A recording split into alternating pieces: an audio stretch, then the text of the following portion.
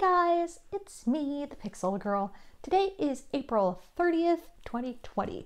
And I know it's been probably about two weeks since I've had a video out. Sorry, I've been doing a bunch of things and unpacking, just like I said in the last episode. I've been unpacking and putting things away, and I finally did find the fabric that I need for the back of the Laughing Buddha quilt.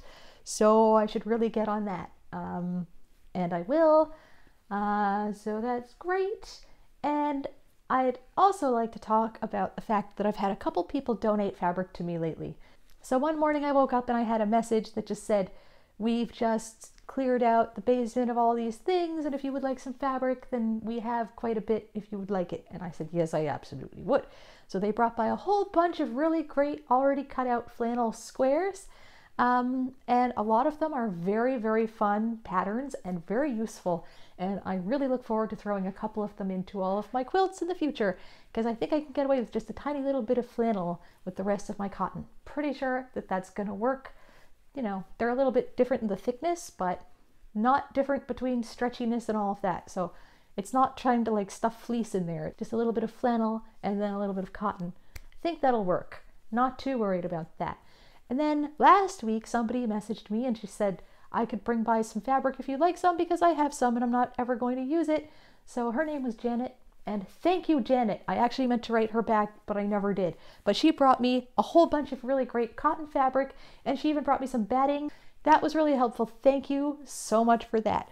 That's so good. So that's been helping me because it's just part of all the organizing and unpacking and all of that stuff. So I'm just trying to get this room all straightened out and I'm getting closer just bit by bit, slow progress is still progress, right? So that's been good.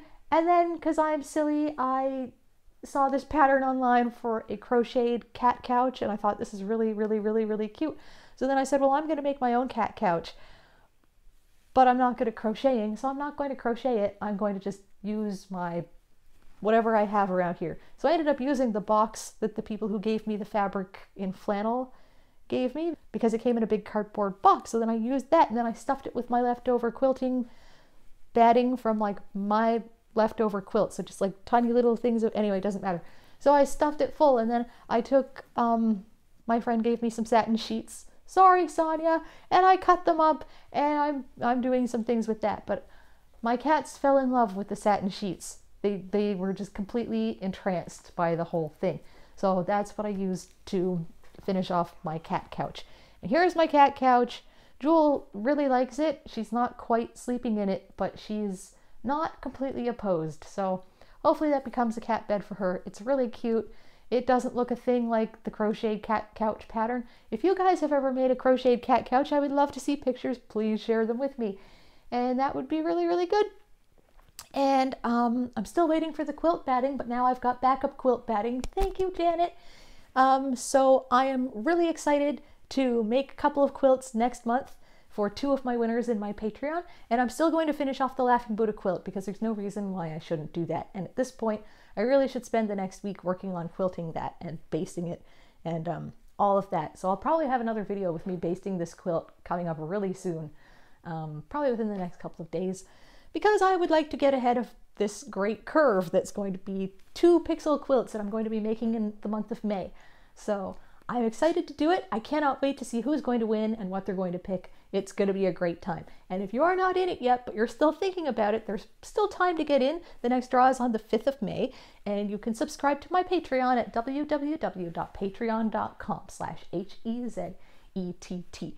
That's me. And if you subscribe for just $1, I'll put your name on a list and then there will be a number and then the number goes into a bingo cage. And then on the 5th of the month, I take my bingo cage and I do a little spinny thing. And then whoever's number is on the list that I pull out, that's, that's who I'm going to be making a pixel quilt for. So this month, since I didn't hear from Benjamin Coates at all, and technically he wasn't even um, signed up to win a pixel quilt, and I tried to get a hold of him, but I didn't hear from him, then I'm just going to be doing two quilts for May because that just makes a lot of sense. And I don't want you guys thinking that I'm just taking your money and skipping town or just taking your money and staying on lockdown and not doing anything because that is the opposite of the truth. I work quite hard for you guys and I love what I'm doing very much. And I would love to see more people in my Patreon because there's still less than 100 people. There's less than 75 people. You know, so like for just a dollar a month, I think you guys can probably afford this. I know that I've got like 445 subscribers to my YouTube channel. Thank you so much. That's awesome. But it would be nice if a few more of you were subscribed to my Patreon for the chance to get your own pixel quilt. I cover the shipping costs when I mail out the pixel quilt, so you guys don't have to cover that if you win. So don't feel like, oh, I don't, you know, I'll put the dollar in, but then if I win, then I can't afford it.